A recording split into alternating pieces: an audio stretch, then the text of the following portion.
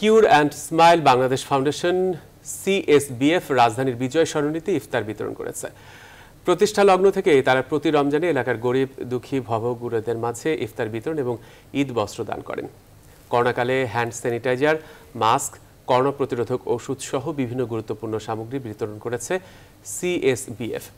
রাজধানীর বেশ কয়েকটি জায়গায় কয়েকবার ফ্রি মেডিকেল ক্যাম্প করে, বিনামূল্যে ওষুধ সরবরাহ সহ কয়েক হাজার মানুষকে স্বাস্থ্যসেবাও দিয়েছে দু হাজার আঠারো সালে যাত্রা শুরু করে সিএসবিএফ পিছিয়ে পড়া জনগোষ্ঠী দরিদ্র, অতি দরিদ্র শ্রেণির জনগণকে স্বাস্থ্যসেবা ও শিক্ষার আলোয় আলোকিত করাই সিএসবিএফ এর প্রধান লক্ষ্য।